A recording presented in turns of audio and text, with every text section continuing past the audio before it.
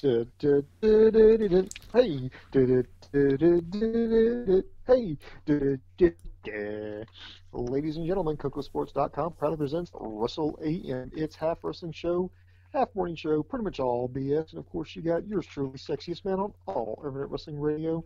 Boom Boom here, speaking room live from the RVA, Richmond, Virginia. Of course, joining me there, way outside the outskirts of Tokyo, Japan. Dave Koco, what's up, brother? Ah, nothing much, man.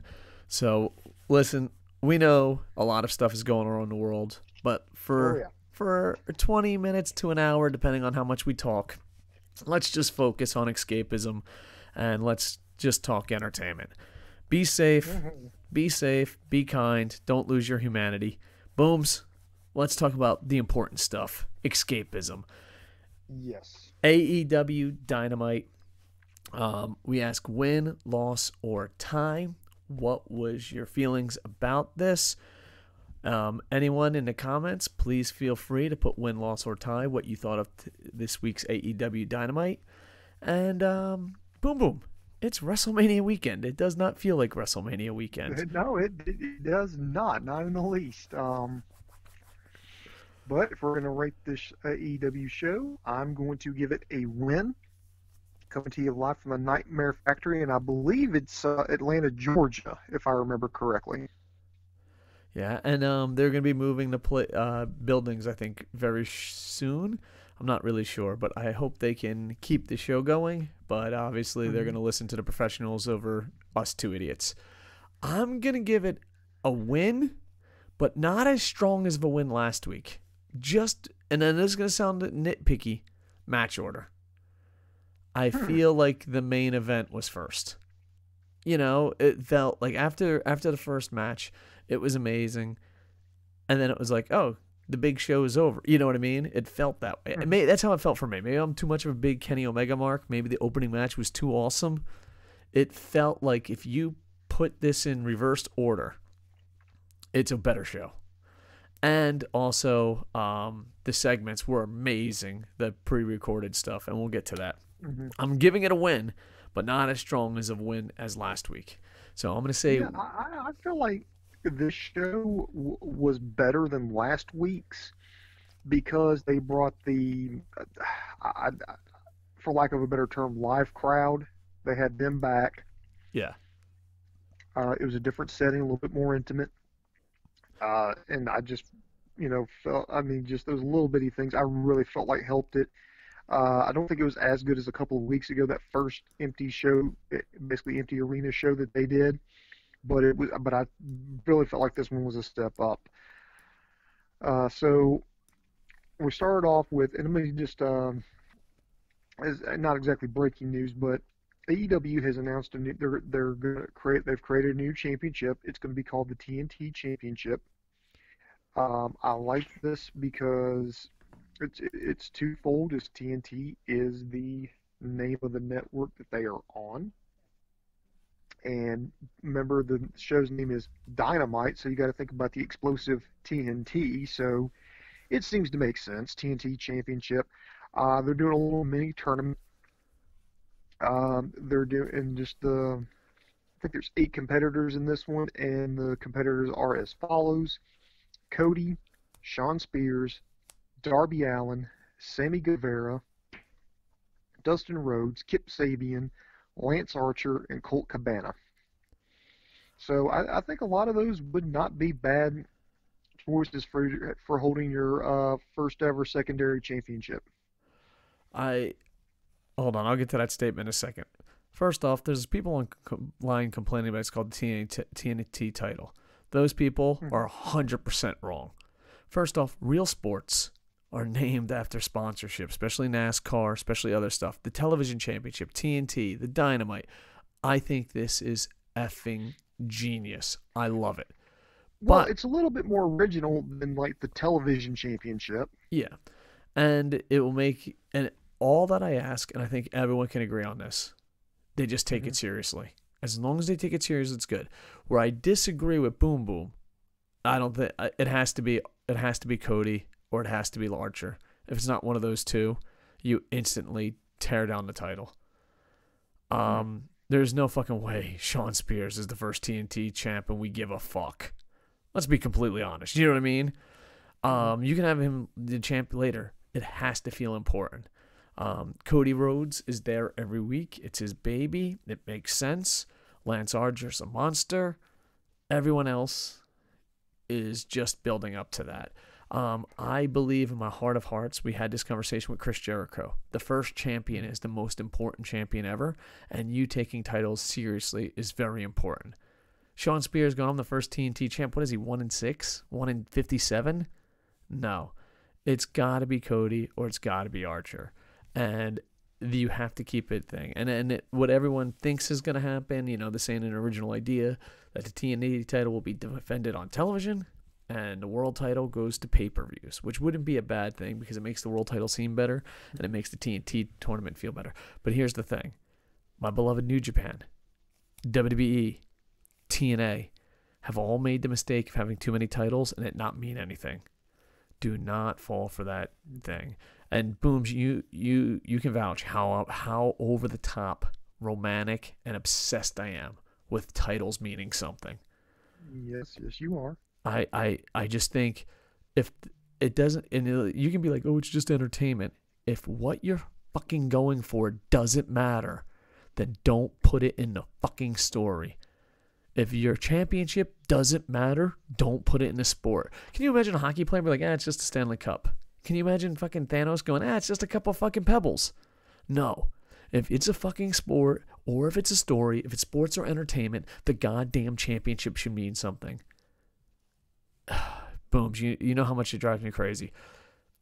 AEW will make or break this fucking championship because they have to decide. And their world champ's in a little bit trouble too. If a third WWE guy wins that shit, uh-uh, we just fucking Dixie Cartered that shit very fast. I mean, if I was at the arena and let's say name any former WWE guy, it could be Brodie Lee, Matt Hardy, fucking Kurt Angle Jr. It doesn't fucking matter. If any of them touch the title next, start a Dixie Carter chant because there's no fucking point in that title anymore. All right, Koco. Sorry. I, I take my championship seriously. I'm excited for this. Um, I'm going Archer and Cody have to be in the finals. And I'm rooting for Sammy to go far. And yeah, because like here's the thing. Can, can I can I play backseat Booker? Not that I've ever done this before. Booms. I'm gonna try. Cody has to beat Shawn Spears, or fucking I'm turning off the channel and being like, fuck it, wrestling's dead. Sam, and you can be like, oh, it's a huge upset. Yeah, it's a huge upset. Your title means nothing. Uh, Sammy, I think, has to beat Darby Allin. You got Cody.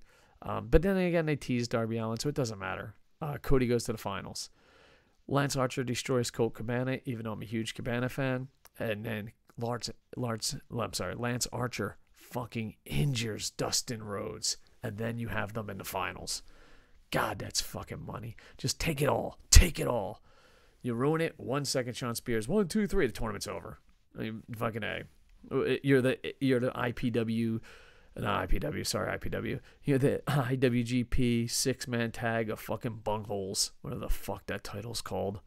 I I love I love tournaments. I love championships. Don't take this away from me, Dynamite.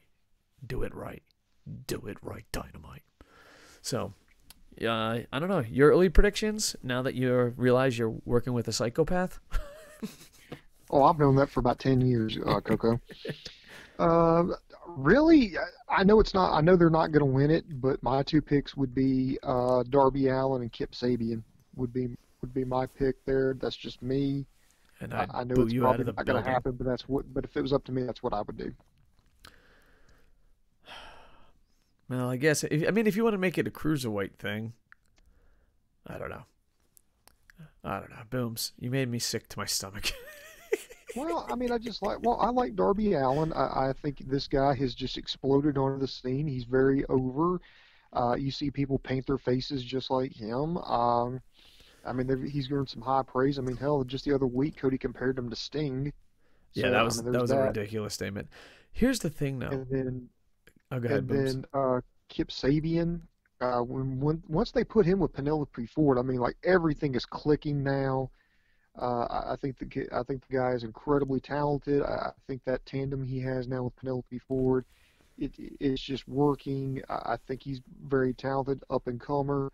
Uh, you know, he's got potential to, to do bigger and better things, and and I think what would be better, and I mean, you could have, uh, you know, you could have uh, Darby Allin win, then have to fend off, you know, some of the gu- some of the lower card guys, or you could have uh, Kip Sabian as the chicken shit heel who just keeps kind of manages to weasel his way out of the matches and, and, and barely get out with the title, drive people crazy. I mean, there's all kinds of crazy stuff. Yeah, stuff but you you don't do that to the first champ. No, I'm just saying. Yeah, but, yeah. You know, Um, here's the thing. I I just, I just, I just want to throw something out there. Out of all the guys in the tournament and on the company, Darby Allin suffers the most for no audience because he's crazy over and like a lot of his good qualities is making the crowd go crazy. Like, I just think out of all the wrestlers, he probably needs the crowd the most. All right. well, don't disagree. I mean, don't disagree. I mean, um, you're taking. I mean, you kind of take a look. You take kind of take the wind out of the sails when you have a wrestling show without a audience. But you know, things are what they are right now. We're all gonna have to get through it together and just give it a few more weeks, and then hopefully all this will, we could finally maybe try to get life back to normal here. But so in the meantime, I mean, this is just a test of character. I mean, this is a test of metal. I mean, they're going to make documentaries about this. They're going to set people down going, you know, what, you know, wrestling right now is the only live entertainment going on in the middle of this pandemic. I want, I want to point that out. Major League Baseball not having games. Ho- National Hockey League not having games. XFL canceled the rest of the season.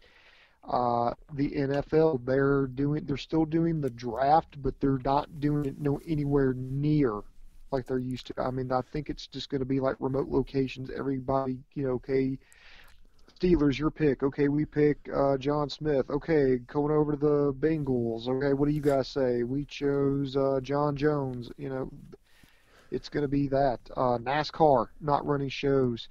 Golf, you know, PGA not running shows. I think the Grand Slam uh, in tennis canceled. I mean, there is nothing. You can't go to a movie theater right now.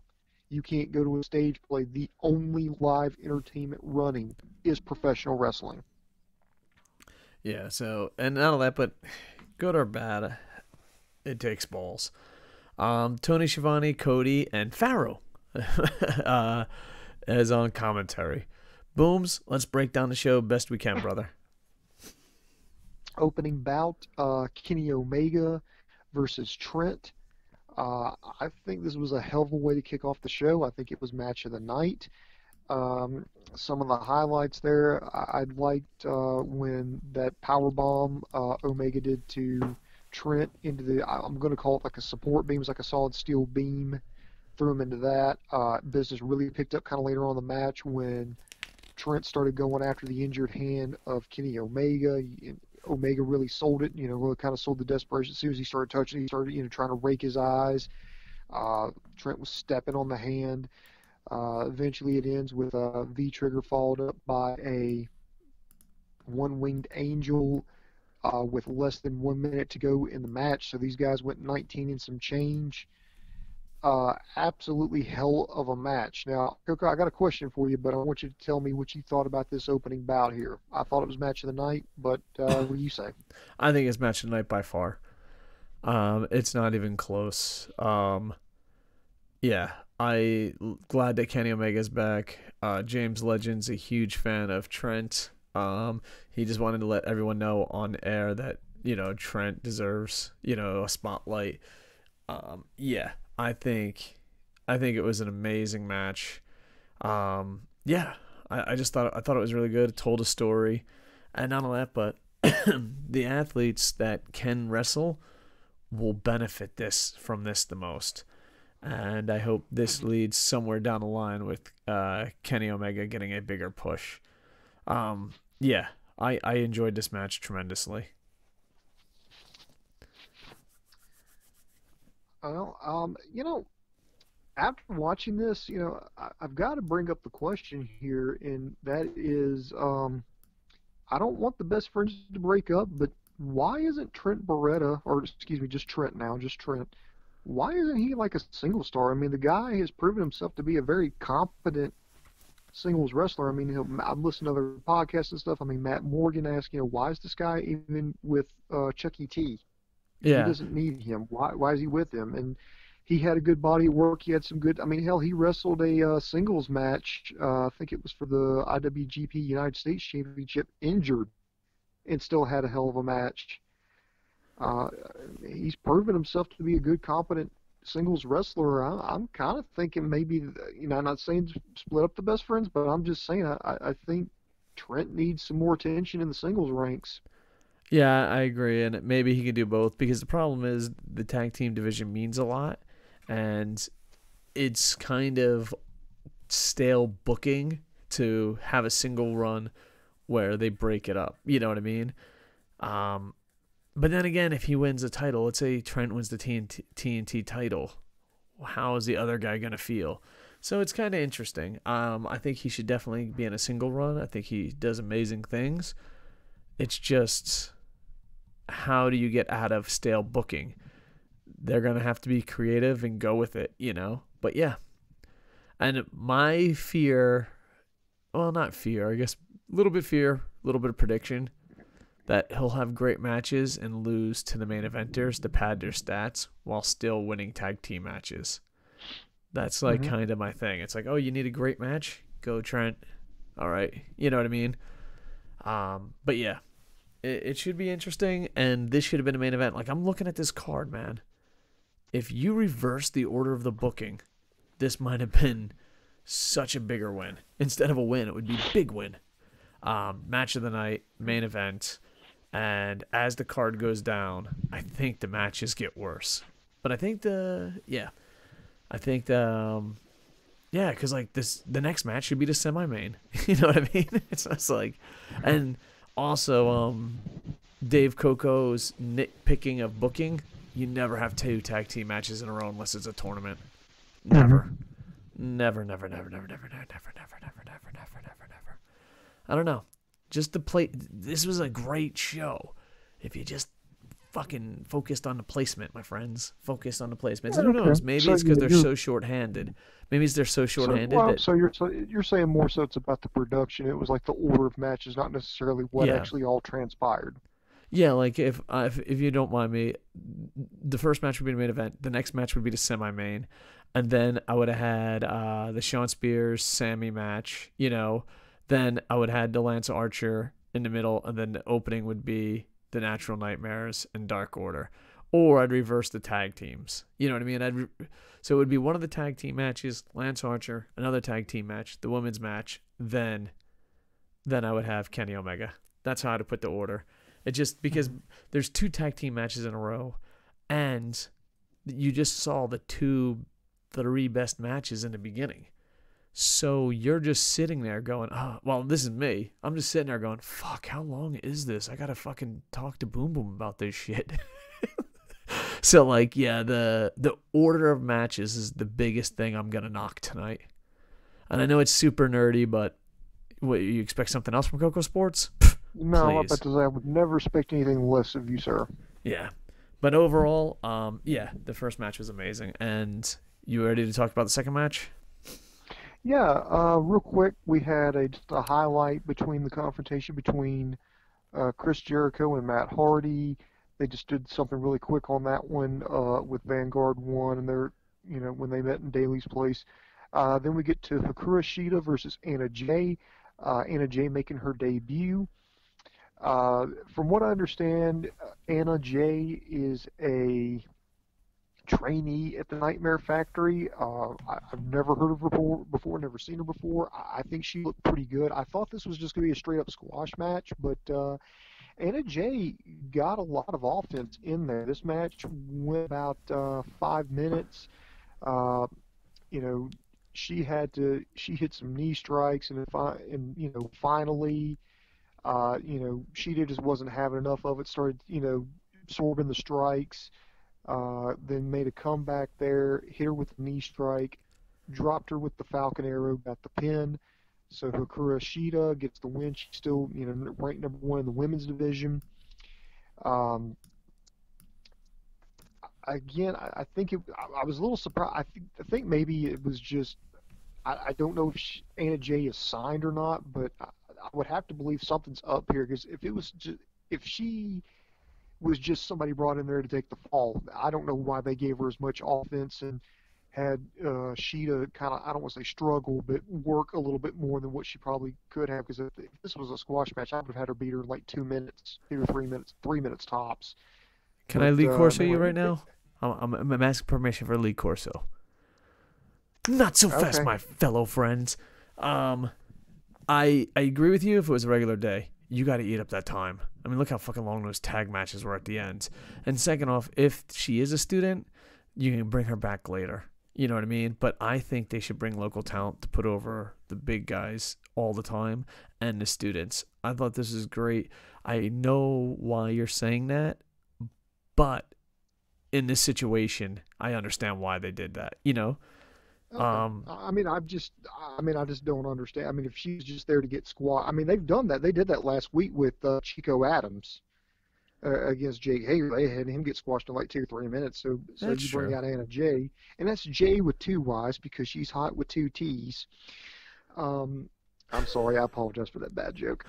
Um, Booms. so I guess maybe there's something to it. Or, or then again, I'm reading in too much into it. But by the way, I got to ask this question here. Britt Baker, excuse me, Dr. Britt Baker, was was at ringside for this match, and she was talking some shit there with Hikaru Shida. But towards the end, when things got a little heated, she did two things. That one, she took off her shoe, like I'll whack you with my shoe, which I thought was strange. But after the match, and this was what really caught me as strange, she had a chicken sandwich in her other hand. Yeah. Well, you She need a like, shoe to eat a chicken eating, Like a sandwich. chicken sandwich, and then was talking shit and like you know getting up in the grill of Hikaru Shida. Am I the only one who just didn't who noticed that and was like, what the fuck? Okay, I can understand the shoe. You know, okay, I'm gonna take off my shoe and hit you. Okay, it's not. It's kind of girly, but who cares? But that was just odd. It was just like completely out of place. It's like, okay, she just was eating a chicken sandwich at the time. Yeah. I- it- the it- thing it- is, I don't know if it was Chick Fil A or Popeyes. I think it was Chick Fil A because I'm fat and I know chicken sandwiches, and it looked a little bit like Chick Fil A. like this is where this is where the expertise finally comes in. Yes. I've been, I've been I've been training for this my whole life.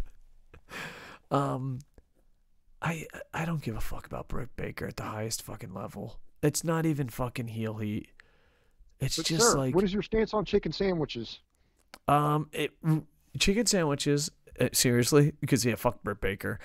Um, my my view on chicken sandwiches is either they taste amazing or horrible. There's no average chicken sandwich. You know, like, hmm, that's an average chicken sandwich. No, it's either horrible or the best thing you've ever tasted. And, you know, there's no in between. Have you ever had an average chicken sandwich? Because you're a fucking liar. Yes, I have. No, you're not. You're a fucking liar. That chicken sandwich sucked. It's either the best thing in the world or the worst thing in the world. There's no in between. I've had a bad chicken sandwich. I mean, I've just had like the mediocre chicken sandwiches, and then I've had Chick Fil A, and that's God's chicken, y'all. So you need to wash out your heathen mouth before you partake. Well, here's my thing. Who thought that fucking I'd even be an extremist about chicken sandwiches? There is no fucking regular chicken sandwich. It's either the best or the worst. Booms, did you ever think I'd take an extremist view on you this? know, you know, uh, to be honest, no, I, I didn't think. I, I, you know, I- there's I can understand passion, you know, about things. I mean, I understand you're passionate about championships. I understand you're passionate, you know, to to a certain extent about, you know, in your opinion on contract signings. I know you're passionate about how champions should be presented. You know, I never ever thought in my life that, you know, it, chicken sandwiches would be up there. I just thought, hey, let me bring up the chicken sandwich, bring a little levity to the situation. And here's Yeah. Koco's like, throws off his hat, like, God damn it, and let me tell you something, brother. First off, um, she Shida, uh, amazing match. Second off, fuck Burt Baker. Third off, I'm fucking from New Jersey. Listen, New Jersey doesn't have much, but we have fucking sandwiches. We take our sandwiches very seriously. I remember one of my coworkers was like, "Oh, here's the best sandwich," and like I fucking like threw it in his face. I was like, "Don't fucking talk to me about sandwiches, dude." I take sandwiches as fucking seriously as I take championships and booking of pro wrestling, maybe even more. There is no okay chicken sandwich. there isn't. Like I just remember he's like, "Well, how do you make your sandwich?" And I was like explaining the sauces, and it was like 12 minutes into this conversation, And he's like, "Well, so you just put it on?" I was like, "What? You just put the sauce on the sandwich? No, you fucking idiot. You have a sauce bowl, and then you fucking put your sauces in a bowl, and you make sure it's the right thickness. Then you put it on the bread. Just putting fucking sauce on your sandwich, you fucking amateurs." I take sandwiches pretty fucking serious. Yeah, yeah, you do. I dude, I love sandwiches, dude. Oh god. Sandwiches are great. You know what? Japan has a lot of great things. Sushi, pro wrestling, boobies. But damn, they fucking suck at making sandwiches. I'm going home, boys. I'm coming home. I want the best goddamn sandwiches in the world. The best sandwiches in the world come from the Northeast. That's just science. Anyway, booms. Um, Kanagawa girl won. Woohoo! That's where I Yeah, live. I live in Kanagawa, so I root for her. Well, I- hey, all, all good for it here. Um, after that, we had a hype package uh, about the ongoing feud between Jon Moxley and Jake Hager. I think this was nicely done. Uh, they're going to have a match in a couple of weeks. They're getting, you know, um, Moxley over is the guy who just doesn't give a fuck. You know, he's going to take on all comers. He's going after the guy who choked him out, who ambushed him before that big match a couple about three weeks ago. Uh, Hager, you know, putting himself over undefeated in Bellator. Uh, one thing I actually liked that they did was they had uh, Sammy Guevara and Chris Jericho in in also in that package, hyping him up, and I actually kind of like the fact that Jericho was just like, you know what, we don't fight the inner circle, we don't, you know, we don't Yeah, fight amongst that. ourselves, we don't use each other's finishers, you know, and if he wins the championship, good for him. I love that. Yeah. Um, two things I want to give a compliment to. One, I love the fact that they're using Bellator and he's undefeated. Awesome. Second, this is two weeks in a row. I don't watch Dark. I'm usually like a week or two weeks behind on Dark. And two weeks in a row, they threw a little thing that happened on Dark that made me regret not watching Dark. They're doing a great job at making me feel guilty for skipping Dark and wanting to watch Dark two weeks in a row. So, AEW, good job. All right, booms. Next. Uh, next year we were they were doing they were doing a setup here for Lance Archer's debut. They had Jake Roberts. Uh, he's saying that you know he's going to destroy his opponent. Uh, you know, stop playing games with us, Cody. You know, you know, you know, you don't don't gamble. You know, casinos. You know, they you know they don't you know set up shop there to lose. They set up shop to win. You know, maybe you got sense enough to be afraid but he says, you know, then he made a comment that it looks like Brandi's wearing the pants in the family. Then we bring out um, Marko Stunt and then uh, Lance Archer, and this was not pretty. I I, I kind of I understand why they did this. You know, Marko Stunt's the smallest guy in the locker room, so why not put him up up against the biggest guy in the locker room now? Contrasting of size, and then you know Marko can just make it like he's just been fucking murdered, which he about did. Um, I don't. I think Marko got, maybe got like an enzuigiri, but that was really about it. Uh, Archer just beat the shit out of him, hit him with the derailer, uh, put him in a choke slam that looked like he was about to finish him, but he pulled him up, hit him with the blackout, gets the pin. Uh, wasn't over there. He choke slammed uh, Marko from the ring apron onto Billy and Austin Gunn, on, and everybody was standing at ringside. I think that was it was a brutal match. I I understand why they picked the opponent. I just kind of wish they wouldn't have picked uh, Marko, just because I just think Marko's stunt getting the shit kicked out of him by Lance Archer's low hanging fruit. And I guess if you're going to do the debut, go ahead and just go ahead and pick the low hanging fruit, get it out of the way. But uh, very big, very intimidating guy. Good, good get by AEW. Uh, Jake Roberts before the match. Uh, I love it. I hope he's working with people on promos because that's who I definitely want to be coaching me up if I'm, you know, if I've got questions about promos and how to get things over, how to get my message across, and how to do it, you know, how to tighten up, do it to get the most impact out of the, you know, fewest words possible. So I, I think it was a, I think it was a good debut. I, I agree, and even though I I'm gonna be a little bit hypocritical here, but maybe it's because I'm an asshole. I think this match should have been shorter. I think this match should have been shorter, but um, yeah, I'm excited to see what Jake the Snake and Lance Archer can do. Um, overall, enjoyed it, and uh, I love the fact that commentary mentions stuff that the fans are thinking. Like the commentary protects. Like they kept mentioning how his partners weren't here, his team wasn't here. I like that. A lot of companies would just have ignored that. So I was a big fan of that. All right, next booms. Next, we had another uh, vignette with the Dark Order. We had Brodie Lee standing up giving a presentation. He asked uh, a minion to stand tall with him, and he said, "Thank you, Mr. Lee." He's like, "No, no, no, it's Mr. Brodie Lee," and he wound up scaring the shit out of him and told him, kicked him out of the room. And then another one of the minions there, he yawned. Of course, this is a riff on Vince McMahon. It's like, why are you tired? What reason do you have to be tired? There's nothing open. You know, you can't be yawning. Tiredness is a sign of weakness. Now get the hell out of here. So kicks him out of the room. Uh, this leads us into our tag match. We have the. Uh, before we get to the tag match, can I just say something Okay. about that, sir? Sorry. Okay. Okay. Um, I love everything about this. The Dark Order was fucking garbage. Brodie Lee was lost on a WWE roster. There's things Kenta Bullet Club, Brodie Lee, Dark Order, Lance Archer, AEW. There's things that when it matches up, you're like, oh, that's better. Like a lot of Japanese New Japan fans were mad that Lance Archer left. I think Lance Archer is way better in AEW. And I love Lance Archer and I love New Japan. You know what I mean? But there's some things that match up. Like Kenta and Bullet Club.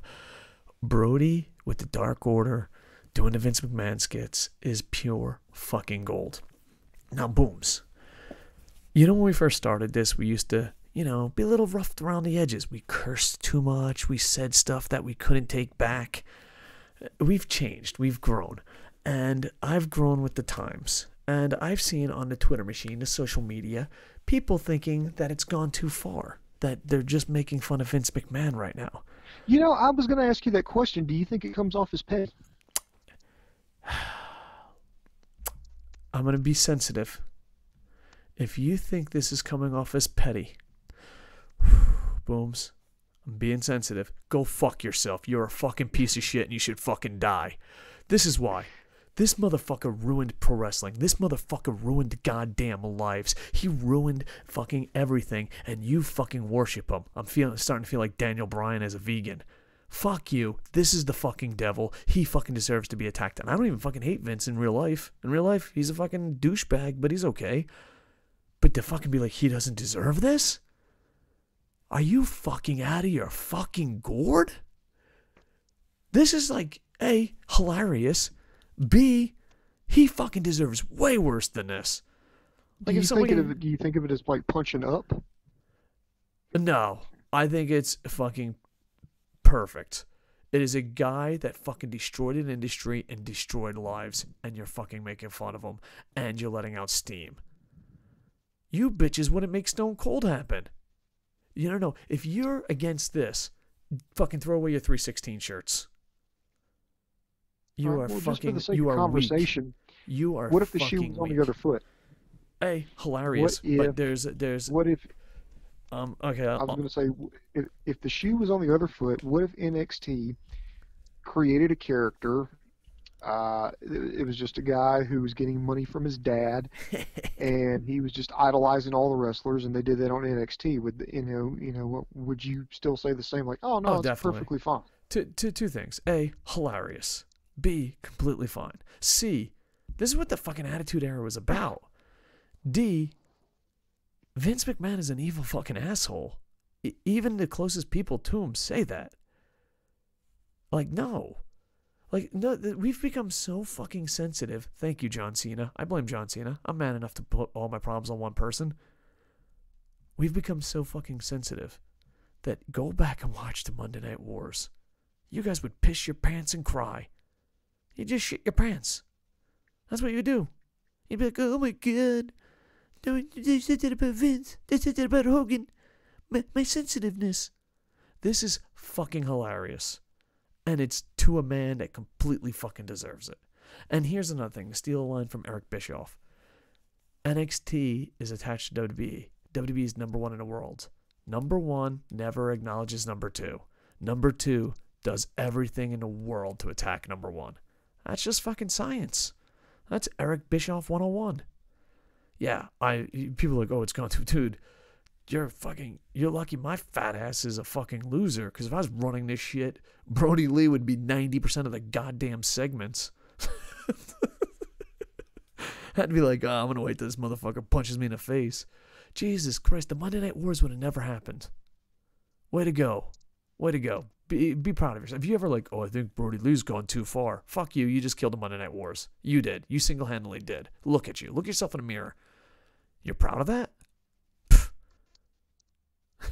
Booms. I think I handled that pretty classy.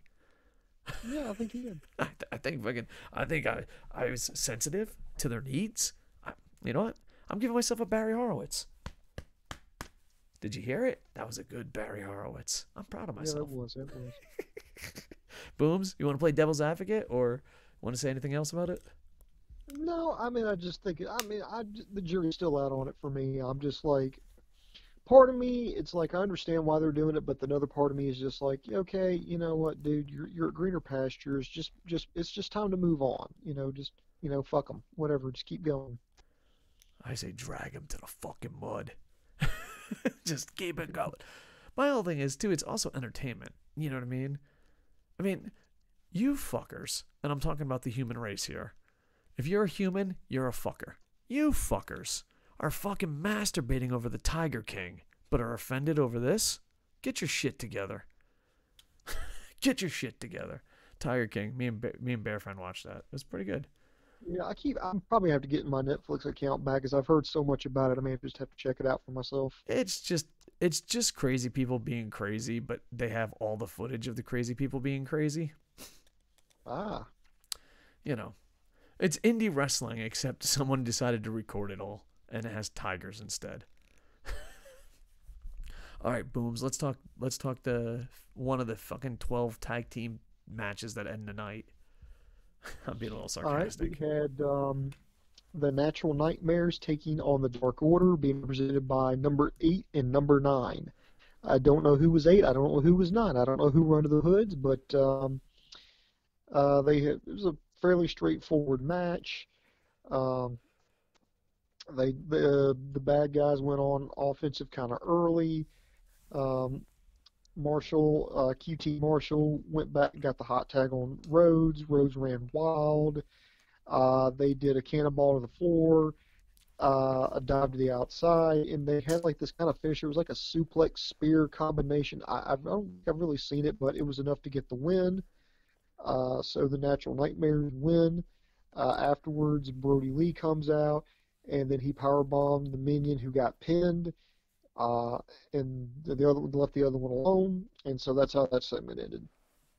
Uh, um, a, I've seen QT Marshall wrestle in front of two people. I'm so happy for his success. Florida guys, you know how you know how I got Florida guys back. Booms, you know it. Um, Yeah. Second off, Dustin Rhodes, former ACW champ. Third off, the Natural Nightmares. These were two guys going nowhere that recap packaged themselves. You know what I mean? Like Dustin Rhodes' single run was pretty much where are you, where are you going to go from this? I like the Natural Nightmares a lot. I really do. Um, I love the fact that they're wearing masks and their numbers. Because as a booker and a nerd, I'm like, that's how you pad wins and losses. I love that he came out and they teased like he was gonna fight them and then went out, power bombed them, and then just looked at the other guy. This wasn't a great booked. This wasn't how do I word this? This wasn't a great match. It was greatly booked to tell a story. I I enjoyed this one a lot. It just broke the one of fucking eight million four hundred and seventy six Dave Koco rules. Never tag team matches back to back. Um, but yeah, I enjoyed it a lot. Booms next. Uh, next, we had pretty. Uh, it's a strange segment, but it was actually. I wanted to be. I, at least I think it was entertaining. So we had Chris Jericho. He was cutting a promo in his hot tub with a little bit of the bubbly. Uh, and he was calling the elite the biggest fools on April Fool's Day. Told Nick to stay at home. Uh, but he got as he was talking, he got interrupted by Vanguard One. Chris Jericho got out of the hot tub. He was wearing pants. We don't know why he was wearing pants, but thank God he was wearing pants. But he was wearing regular pants. Uh, he still offered Vanguard One, a, spot in the inner circle and even hooked a little, little tiny, like, you know, made for children inner circle t shirt on Vanguard 1. Vanguard 1 started taking off. He threw the bottle of bubbly at him, missed. And he said, you know, you can't disrespect me like that. You know what? Release the hounds and all the like these dogs come out. I Dude, mean, we're was talking adorable. like Chihuahuas, Pomeranians. There's like five dogs just random dogs came out just barking, and I was just like, and that one Chihuahua just chilling up on the porch, like, yeah, yeah, yeah, y'all, y'all get this, yeah, I don't care. So I, I don't know why, but I genuinely laughed when all that shit. When he said release the hounds and all like these, these little like you know house dogs come running out, I legitly laughed. Yeah. Um here's the thing. This is a fucking dumbass segment and story. Jericho might be the best entertainer in the world. You replace Jericho with anyone, it fucking flops. This guy is pure fucking entertainment. At one time, he was the best wrestler in the world. At one time, he was the best sports entertainer in the world. And now he's just the best entertainer in the world. You know what I mean? I, I mean, maybe maybe I'm giving Jericho too much praise. I do live on Jericho's island, aka Japan. Here, Chris Jericho is praised beyond belief. Like Chris Jericho trips on ice, and we're like, stupid. That was supposed to happen. You know what I mean? Like we love him so much here. Booms, replace Chris Jericho in these segments. Who can fucking carry this stupid ass segment? You know, I don't know who who active right now who has that kind of range. Yeah, he he's just fucking beyond amazing. So yeah, Jericho, fucking eighty-seven thumbs up. Love you, brother. Like, yeah. All right, booms. Uh, you want to talk next? Yeah, after that, we got an update on Nick Jackson. Uh, he's feeling a lot better. Uh, Matt brought in the ring, so those two started practicing. They started kind of, you know, bumping, going back and forth. And then they asked, "Okay, you ready?" And Nick says, "No, not. I'm not ready to come back just yet." But uh, I think it was okay for what it is. And by the way, congratulations to Nick Jackson on his uh, son Michael. So that's his third child. Congrats. Yeah, there's a there's a thing going on on Twitch to joke the youngest bucks, and Michael Jackson will be one of them. So, yeah, congrats, and I don't know, I, I, I like where this is going, and I also like that he isn't kind of like himself. So overall, I enjoyed the segment. Uh, you know, all right, all right, booms, main event time, aka should have been the opening match. Next we get to the main event. I mean, this is, I mean, I understand why they put it here. I mean, they're hyping up their, the TNT Championship tournament. I mean, because all these are going to be matches. Uh, you know, Cody's going to be taking on Shawn Spears, and then Darby Allin's going to take on Sammy Guevara. So this is kind of like a preview of that. So that's why they put this together. Um, I think it was a pretty. uh, It was with TV time remaining, so I, I think it was good. I mean, these are two rivalries that you know they put the they put you know two teams together based off of rivalries. You know, particularly you know Cody's Cody and Spears and Allin and Guevara. Uh, I did like. There's a lot I actually did like about the match. Uh, a couple of spots that really, really got really got me. Uh, one that got me chuckling was the fact that when Shawn Spears and Sammy Guevara started gambling on who could hold up uh, Darby on the longest for the delayed suplex. And then it was like, okay, now I got it. No, okay, double or nothing. Okay, you're on. I, I don't know if they're going to make that a thing where Shawn Spears is like just become like this compulsive gambler or something. But I thought it was an irritating spot. But um, when Shawn Spears goes back in there, uh, Darby Allin reverses it, and Sammy Guevara just you know takes all the money and pop, puts it in his trunks right there, you know, without anybody seeing it. I enjoyed that. I enjoyed the coffin the coffin drop off the uh, steel girder. Um, it keeps going. Uh, and eventually, Cody gets back in the ring. Uh, Spears he hit a frog splash on Cody. Sammy Guevara was go- was gonna go in with a chair, but Darby Allin uh, took it away, and that and he saved um, saved Cody and Spears rolled him up for the one, two, three, and then you just had the bad guys win. Darby Allin looking completely dejected. Uh, Cody's like trying to like you know trying to calm him down, be like, dude, it's cool, you did a good job, and then um, Allin just clocks Cody. Uh, so I don't think that's going to be an all-out heel turn. I just think it's more it's just frustration starting to boil over with Darby Allin, thinking, you know, hey, I could do better. You know, I, have got to do better than this. You know, hyping up the tournament. So I, I think it was a, I think it was a pretty good match. I, you know, I, I know. Let, us just per, forget where it is on the on, on the spot. It, the match itself, Koco. Do you think it was a good match? let's just take it. Let's okay. Let's go with your suggestion. Let's say this opens up. Let's say they do everything, but they do it the first match of the night. Is it still a good match? Yeah, it's, it's a way better match at the opening night because when Darby, like, it ends the show with Darby Allin turning on Cody.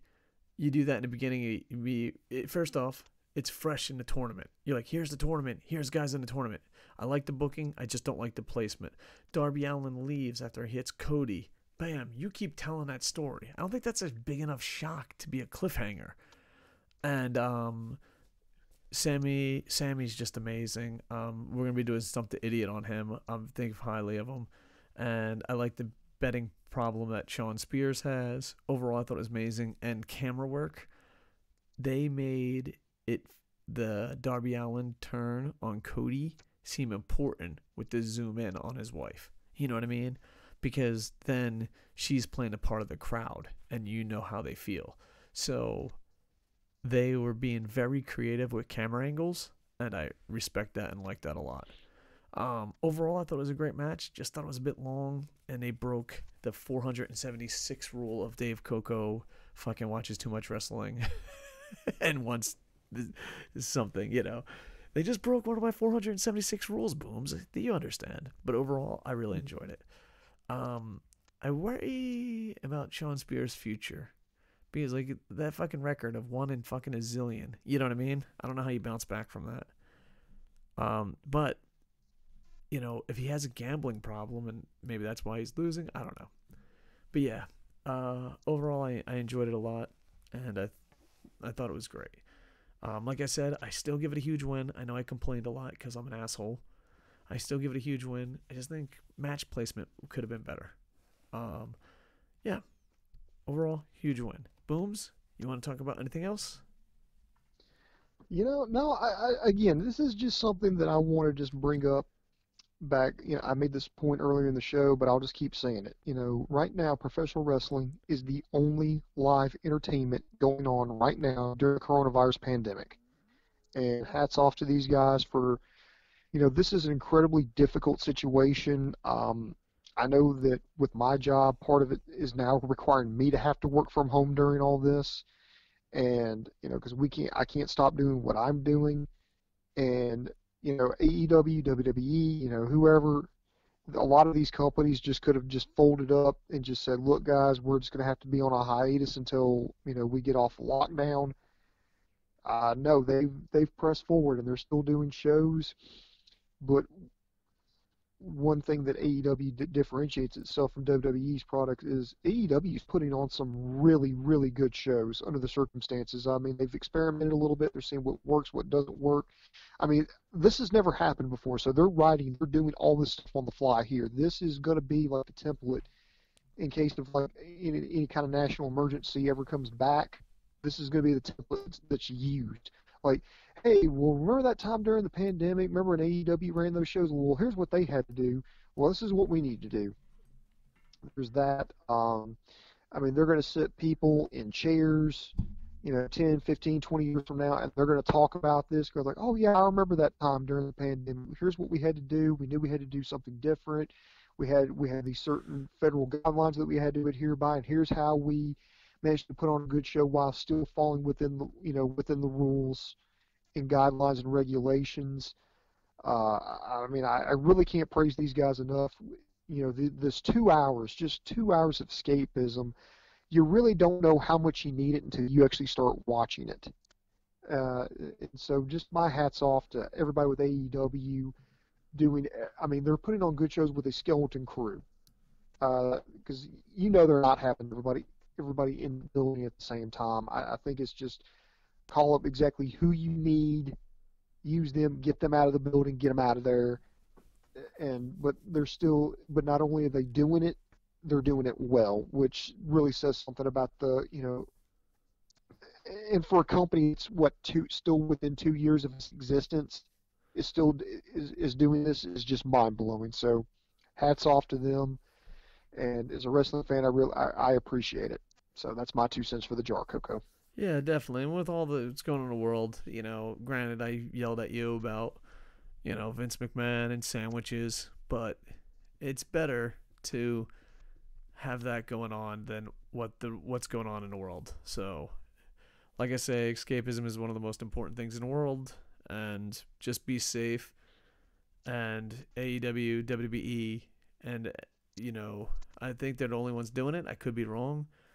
Thank you for keeping us entertained. And even if we love or hate what's going on, it's giving our mind off something else. And I think we need that now more than ever. And I always say this because I just see people losing their shit. No matter what happens, keep your humanity. You know, mm-hmm. just just keep your cool, keep your humanity, and who knows what's gonna happen. Hopefully, hopefully, you know, it ends soon, but who knows? Maybe this is the future. I don't know. I'm just saying, if it gets worse, gets better, keep your humanity. You know, be kind to each other. That's it. All right, booms. AEW, overall, huge win. And thank you for giving us something to yell and scream about that isn't yelling and screaming at each other. And for that, AEW, I tip my hat to you. And WWE, I'm probably going to watch WrestleMania this year just because it's going to be so weird and different. And I don't, yeah. And we plan on making a lot more videos. Uh, Jerry's been working hard on KocoSports.net. David Cooey's been working hard at KocoSports.net. Boom Boom has been doing shows when he can. So hopefully, you know, we'll just keep making content and it distracts you because it's definitely distracting us, us making it. So much love. And um, yeah, uh, I got some good news, Booms. I did a 24 hour stream on Twitch. We're almost at 500 followers. I'm officially retired. I'm only working part time, but my school's not open, so there's that. And I hope, you know, I hope that there that I want to do 33% Twitch, 33% online content, and 33% writing. That's what I eventually want my future life to be. And the first step was retiring and going part time. So that's exciting. And um, my next book is coming out. There's a publishing date and all that. So try to do, let's do this. And uh, I know I'm just plugging stuff for the sake of plugging stuff, twitch.tv, Koco Sports. But put win, loss, tie. And if you made it this far, put one thing that's good about your life going on right now. Booms, what's one good thing about your life right now? We'll end it with that. Uh, one good thing, you know, I've got a loving family. You know, I, you know, not trying to be that guy, but yeah, um, you know, my wife, my stepdaughter, absolutely amazing. We're soldiering through this. You know, I'm still working. My um, daughter's still working. Wife is going to be out, be on the shelf for about a month now until this thing blows over. But uh, we're we're happy. We're healthy. You know, and that's you know all things considered, you know that that's all that really matters right now. All right, so down in the comments, win, loss, tie. If you made it this far, just one thing that's going great in your life. Um, sometimes that helps, man. All right, booms. I love you. Booms. I love that you fucking come by and see us, see me on Twitch, brother. That means a lot because, like, the thing is, I know you probably are like, I fucking hate this. I'm just here to support a friend. You ever like, you ever do something entertainment wise, and you look out on the stage and you see your friend, and your friend's only there because it's you. That's how I feel like when you enter the Twitch chat. like, he doesn't want to be here, but he's here for me. And I love you for that. All right. Twitch.tv, Koco Sports, KocoSports.net, YouTube, Awkward in Japan, buy our book. Uh, so many plugs. We we got to put links down in a doobly doo one day. A lot of stuff's going on. Shout out to Wrestling Ranting. And with that, I am over. Ba-da-da-da-da-da. Hey,